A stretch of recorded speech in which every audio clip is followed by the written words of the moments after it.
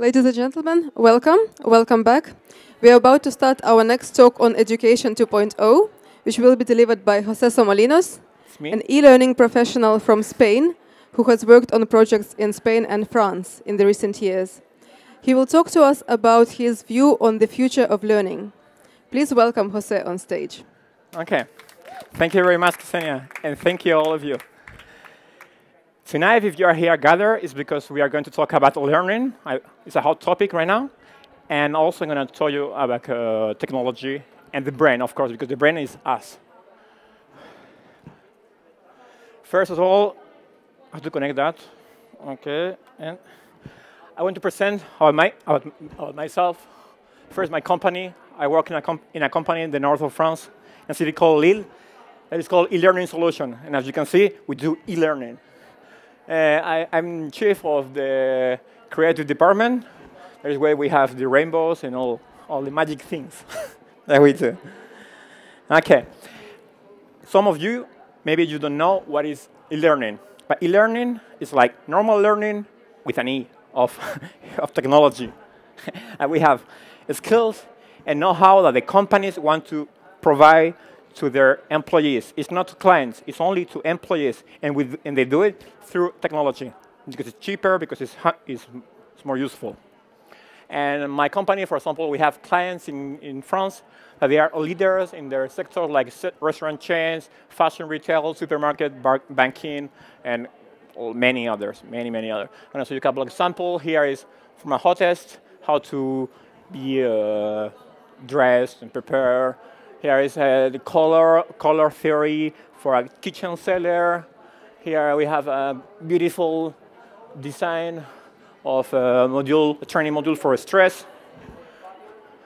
And here is to sell with a serial uh, chairs for, for children with a, with a video character. Okay, and my experience, of course, if I'm here, is because I think I gather three different, three different disciplines. Discipline. First, I studied engineering for three years. After I switched to advertising, that's what I like, what I love.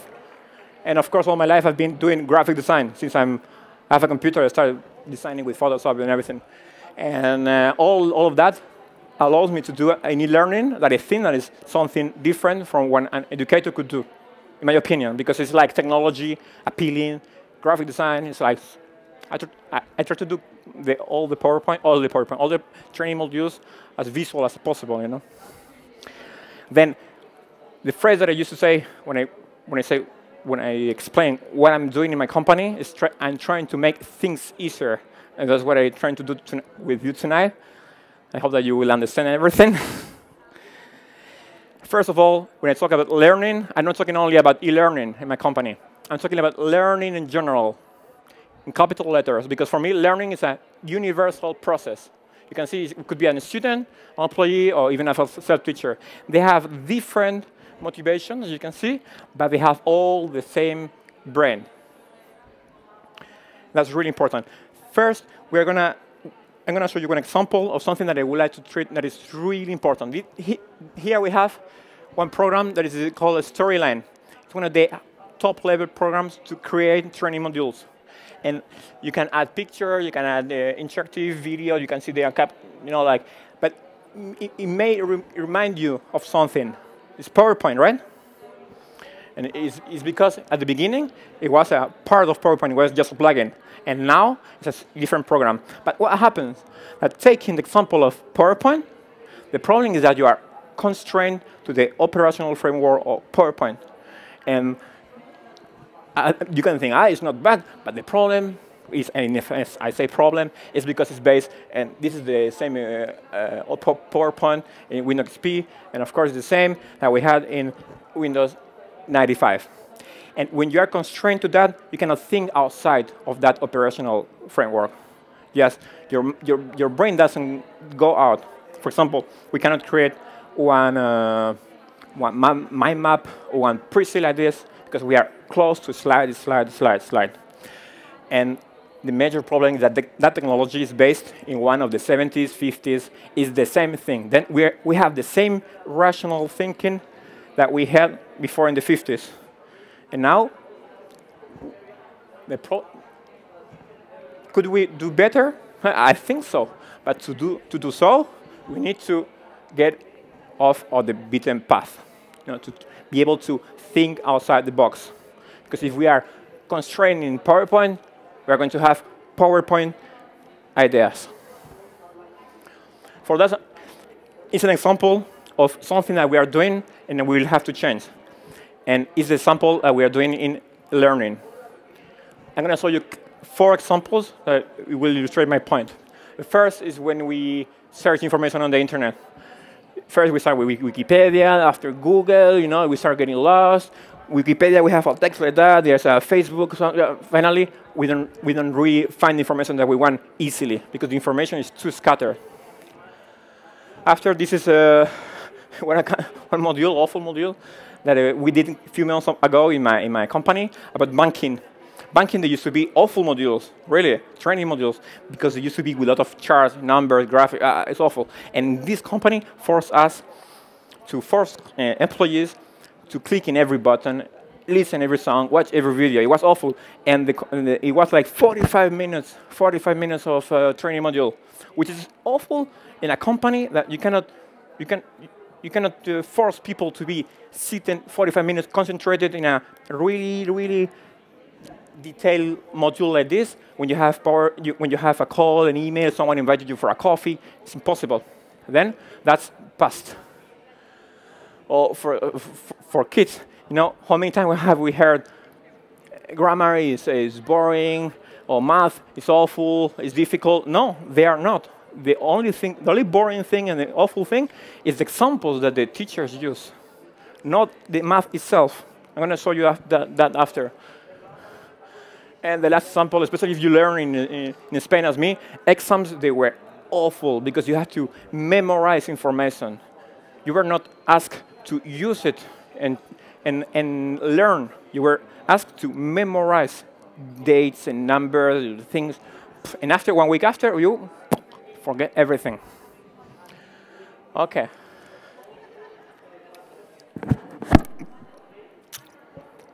Then, as we, I, on this example, I could, I could name thousands of those. But all, all, want to, all want to say the same thing. Something doesn't work, and we don't dare changing it.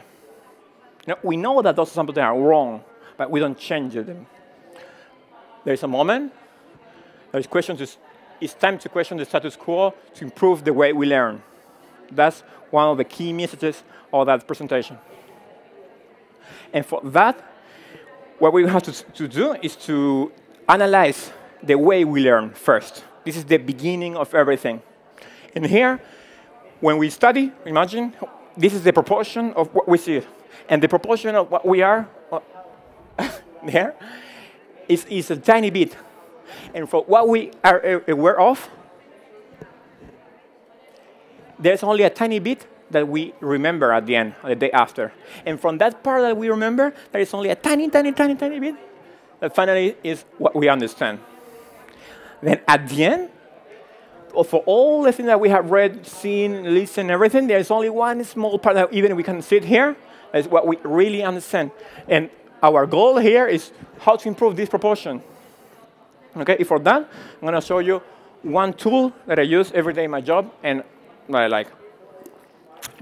It's called ergonomics. Ergonomics is where the real world, the object that we, that we design, meet our, uh, our, our body, the physical characteristic of our body. For example, we can measure the length of our fingers.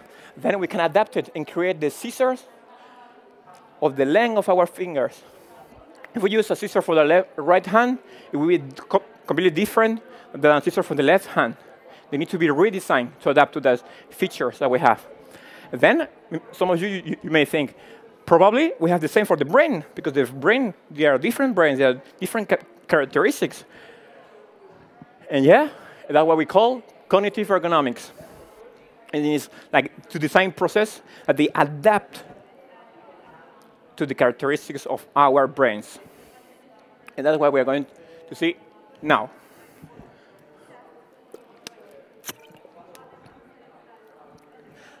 As you can see, there are four steps what I call the four learning steps, the cycle of learning. And um, is what we see, what we perceive by the sense, after what we pass it to the filter of concentration, what we are able to save in our memory, and what we are able to say with in our own words. Okay, I'm gonna start by the beginning. A picture is worth a thousand words. I'm sure that you, all of you, you know that picture, all, all that uh, proverb, Chinese proverb. But is it true? I'm to try to prove it with a simple example.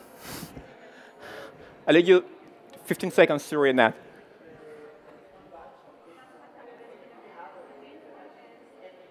I'm to drink water. Okay interesting. No, maybe it's a text. Maybe you remember. But if I show you that, you will have it in a glance like that, in a single glance. It's a picture that shows, explains it one side, all, all the other text. And I'm sure that you're going to remember that picture more than the more than the text. Well, I think, or at least I hope that you will remember that picture tonight. And uh, if you have the text, we can see that some of you, maybe you're not English native speakers. But here we are all, 100% of the population is visually native. And what's that we have to use more, more than words. Words are wrong. not wrong, man, almost. then, why we are all visual? It's because in our evolution, the evolution of mankind, we have been, since we were animals, using visual communication. And it wasn't until 5,000 years ago when we wrote, when we wrote the first word, the Sumerians. And it wasn't until last century, yesterday, really last century, when we became, when we had a rate of 70% of literacy in the world. Then words, they are new tools for us.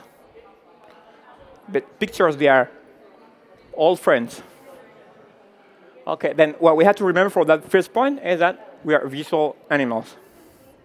That's really important. Okay, once we have the visual content that we want to make entered into the brain, we it has to pass through the filter of concentration. It says, a phrase that I like is, don't bite off more than you can chew. It's because me, I used to compare learning with uh, eating.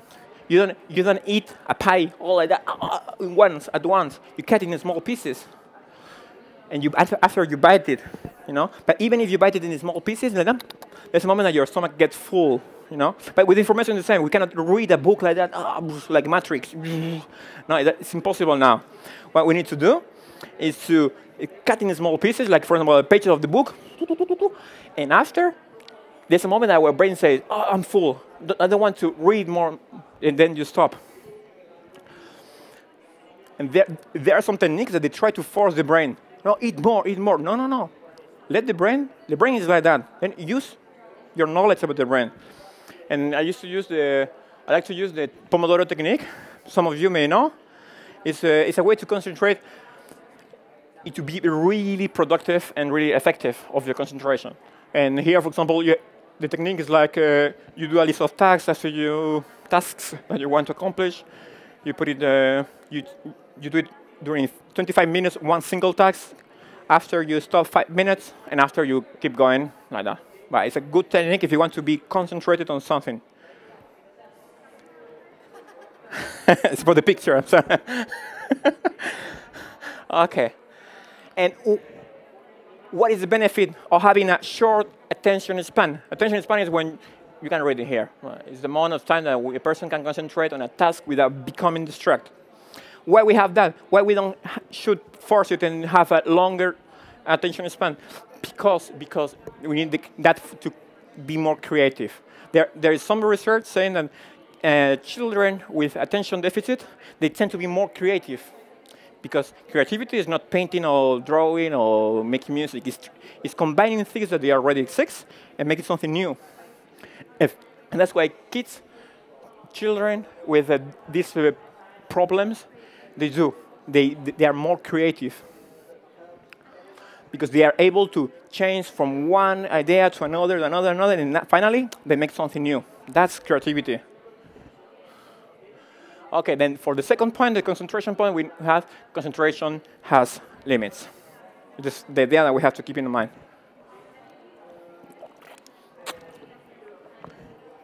Okay. Now it's time to all the content that we have seen really concentrated and in a visual way, we have to save it in our brain. And for that, that Chinese pro I, I, I, like uh, Chinese proverb, I'm sorry, but that one is tell me I forget, show me I may remember, but involve me and I will understand.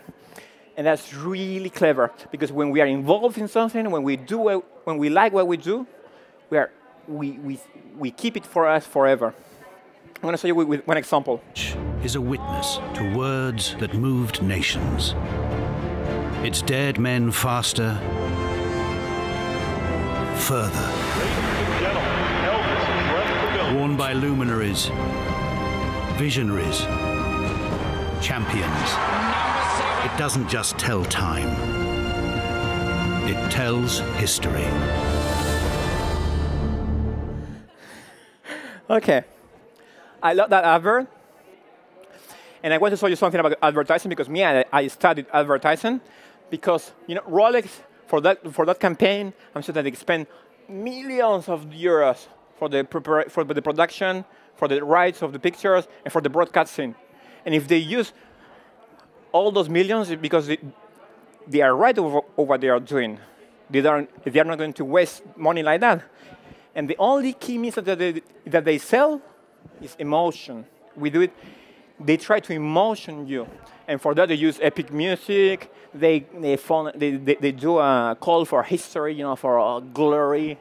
And, and they show a lot of idols that you can identify with. Because you say, ah, I like it, I like it. And if they use that, because it works. Because if they want you to remember Rolex, then they choose to use emotion. Why we don't do it like that in, in, in schooling, in learning? Why we don't do that? Okay. This is the reason for why emotion is so important for our brain. It's because our brain has a capacity, it has a lim limited capacity. And if, we, if the brain has to, to see which, uh, which uh, events of our life are, are uh, more important than the others. The only way that brain has to differentiate those to prior prioritize is the motion. The motion prioritizes information. Then, for example, a wedding day is uh, something really charged emotionally for you. Then your brain is going to re remember forever. I hope. no? Unless we change the, the wife, then we forget it. don't worry, don't worry, yes. okay, after we have uh, something really, uh, we cook, it was, was really good, then we save it in the second floor. And after things like a normal day, a boring movie, bah, forget it, bah, we don't want it here. Then, that's a good thing. What we have to remember for here that memory needs emotion. That's really important. We forget that in schooling. And the last step is explain it with your, in your own words. Are you reading?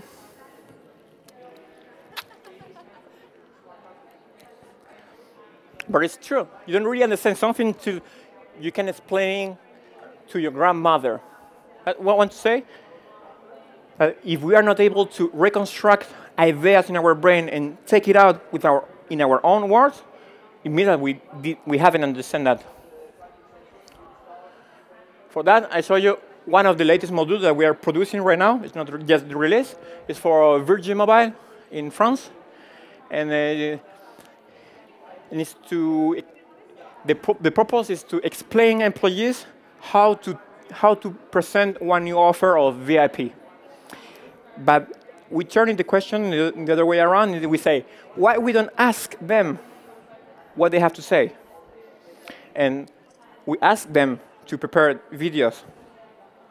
Videos with a, for example, here is with a GoPro, with a phone, because the most important is that they learn. And when they have to prepare, okay, tomorrow I have to make the video to send it to, to, send it to my colleagues, they're going to try to learn by themselves to do it better.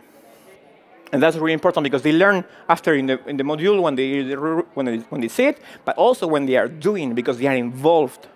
And you see, with almost zero budget, you have a, a, a module that works perfectly. And why is important learning for, uh, for teaching? Because right now, we have the internet, we have the phone all the time, we have the Google Glasses, and data and information doesn't work anymore. It's something that is from the past. Before we, it was something cool. Ah, me, I know the dates of the first world. Who cares now? You can, you, you can search it on, on, the, on the internet. The most important is to how to use that information, how to combine it together to create something new. It's the difference between information data and, and knowledge and wisdom. Then the last key message that we have to keep here, that we have to learn by teaching. That's everything. And now we know the characteristic of the brain. We have measured the brain as we measure the, the fingers. And now it's time to create the scissors. The scissors that, of our brain, that they adapt to, to our brain. Before that, I want to talk about one example to show that technology is not a goal. Technology is only a tool to what we want to do. You know, I'm, I'm reading on, in, on the newspapers that there are uh, schools forcing kids to buy an iPad you know, or buying you know, like, oh, let's buy 400 iPad. Uh, they're going to learn a lot. You have to have a plan for that first. And there is a case, really innovative that I like. And maybe you can say, oh, innovative, that's uh, Sweden or, or Finland. No, innovation is everywhere.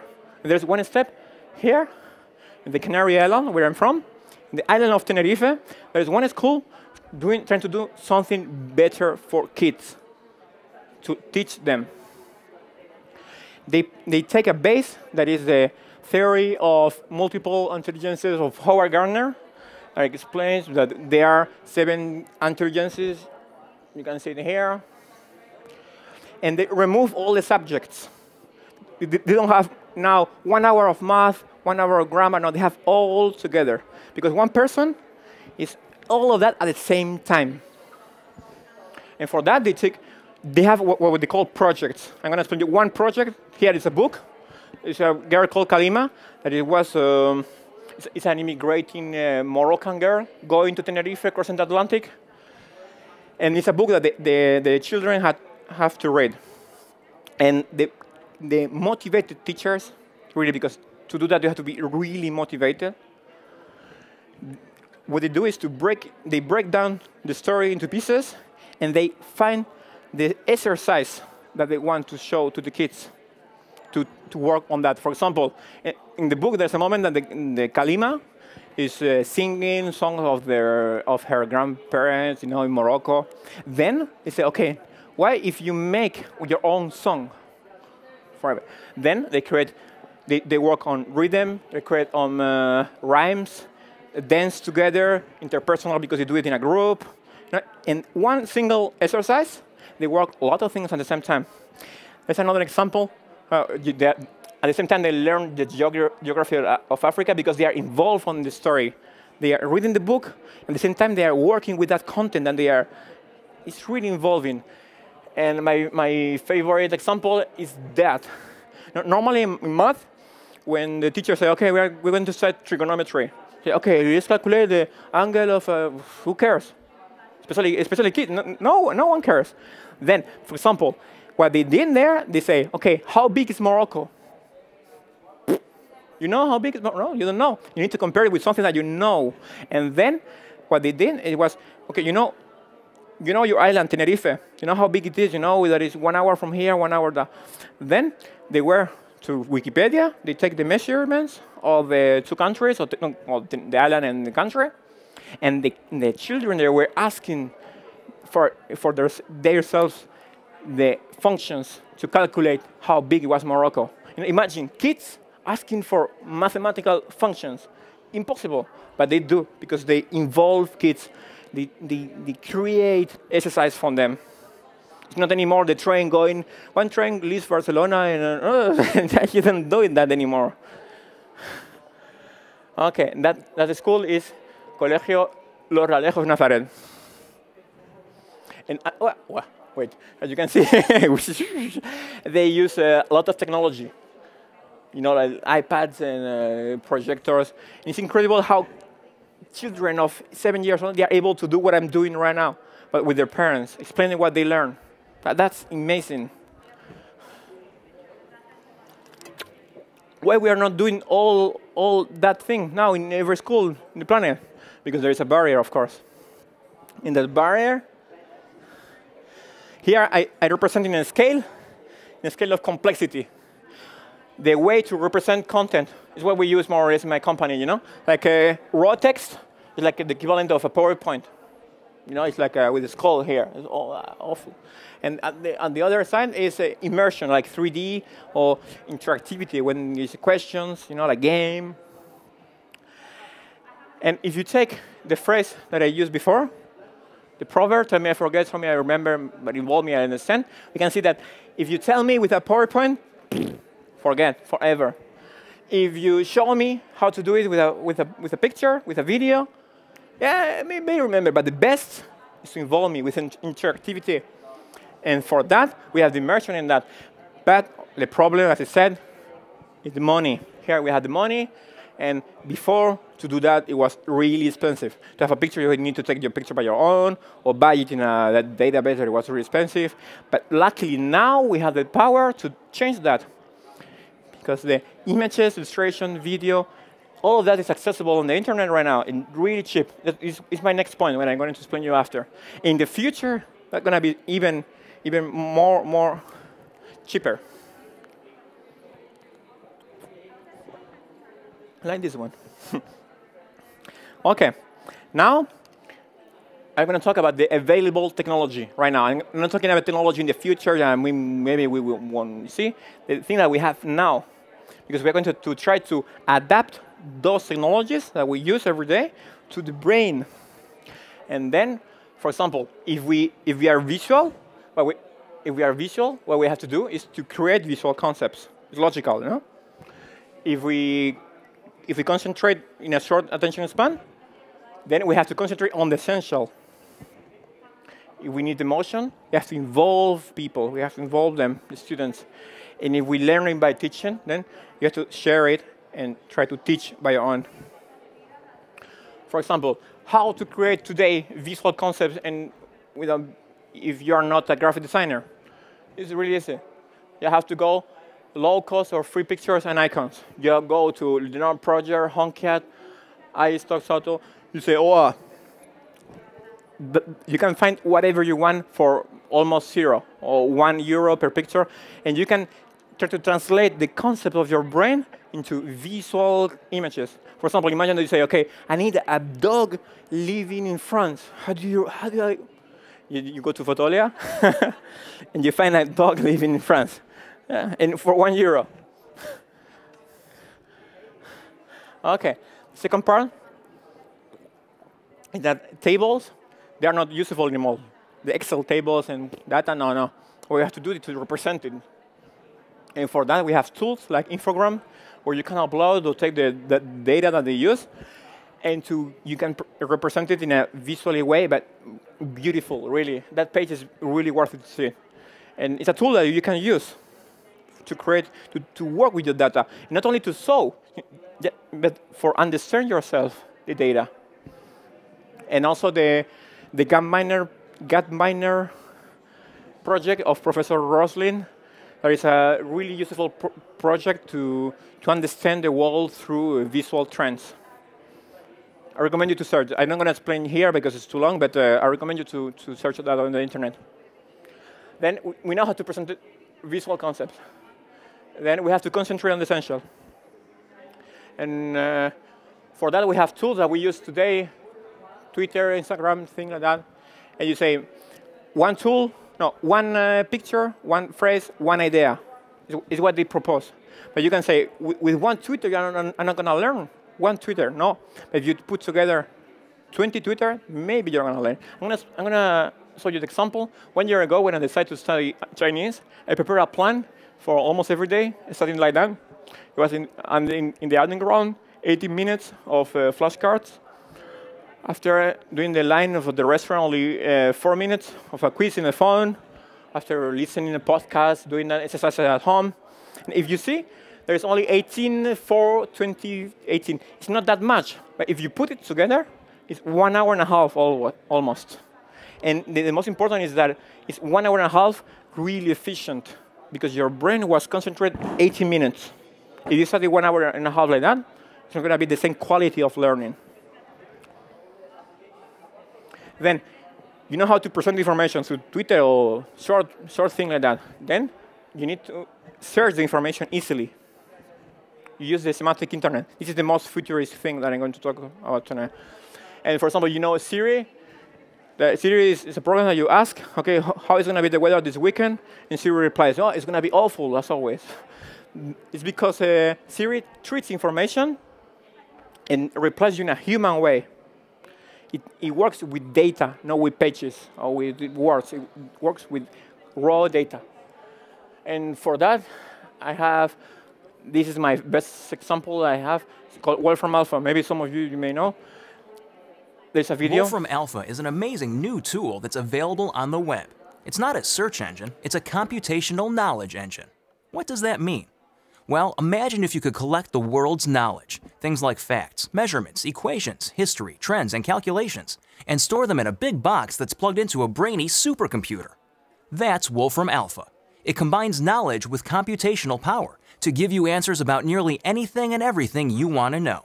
When you want to find out about something, such as the nutritional content of your breakfast, Wolfram Alpha is smart enough to understand what you're trying to figure out, and it uses its knowledge to compute the results.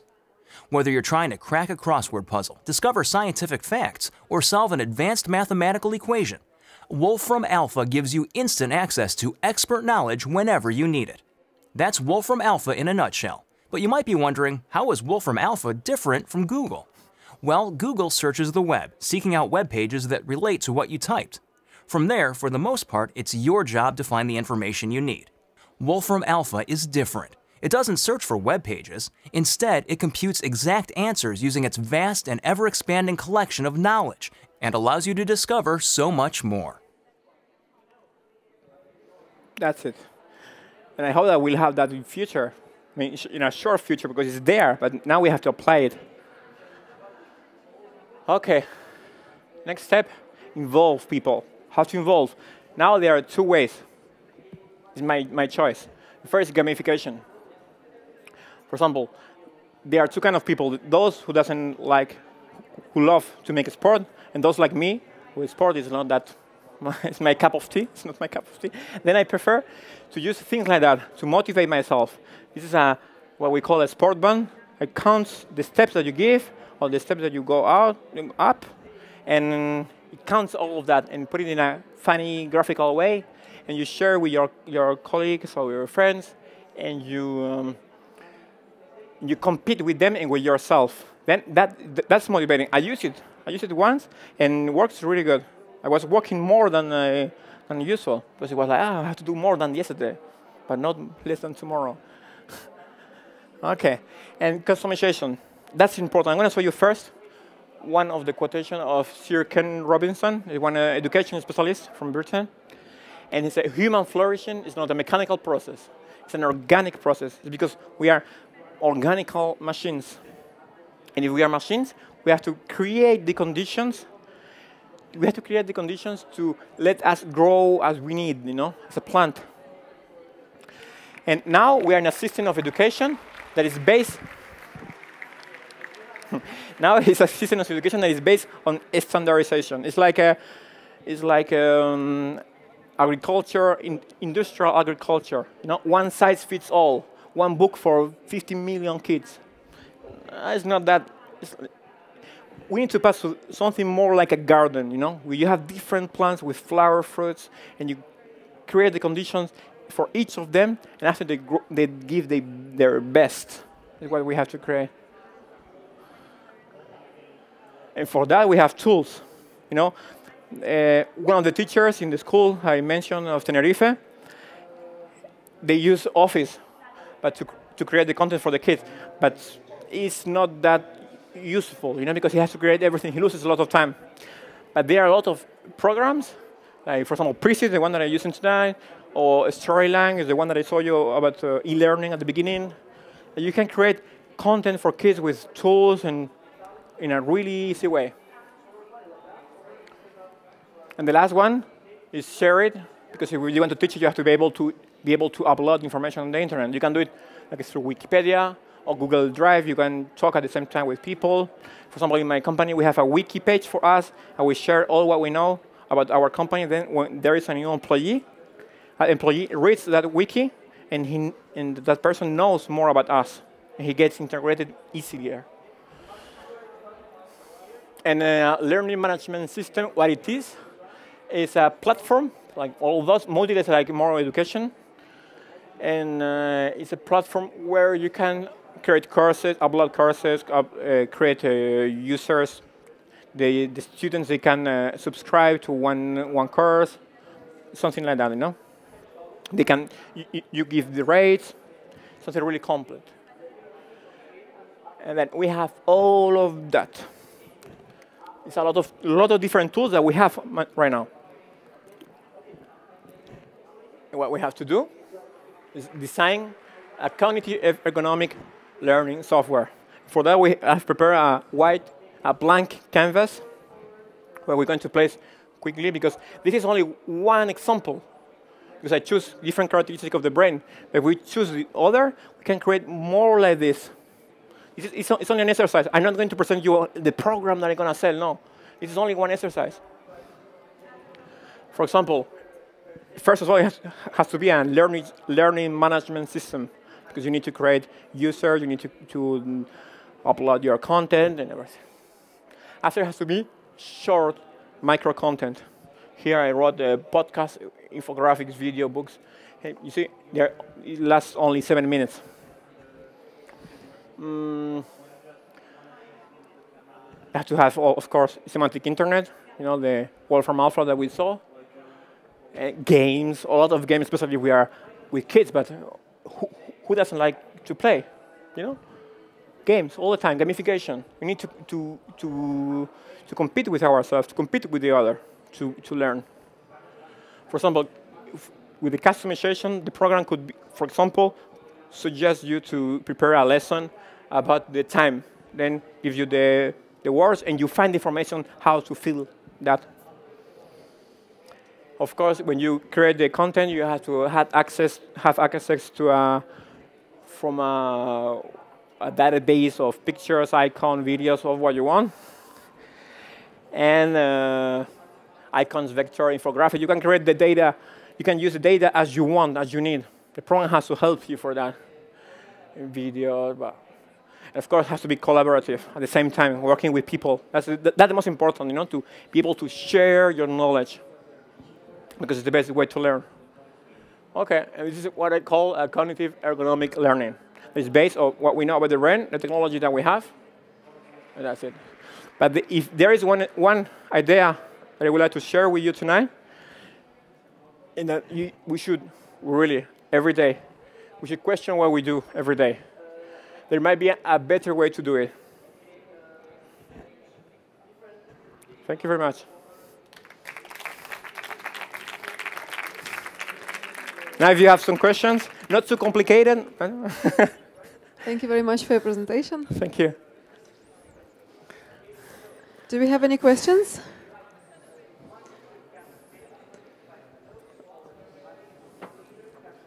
It's just a silly question, yeah, but it's about the gamification thing. Could you explain what gamification is? Gamification? Gamification is to add, no, to convert whatever you want in a game. For example, in that case, with uh, having a, a, bracelet like that, you, you count the number of steps that you give. You know, then that is, is a number that if you do more steps than your friend, you're playing with him. Then tomorrow I'm going to give more steps. It could be in a language course. You know, there's a Busuu, I don't know what is it. More, more games you do, more points you have. And when you have more points, you can have access to different new things or have medals. You know, it's, eh, it's all, you can convert whatever you want to a game. I mean, not only on the internet, but in the real world, as I say with the, with the, with the bracelets. That's gamification. Anybody else? Oh, any thoughts that you would like to share on the presentation that we just heard and saw? It was very rich visually. Thank you very much. Okay. Thank you very much. Thank you.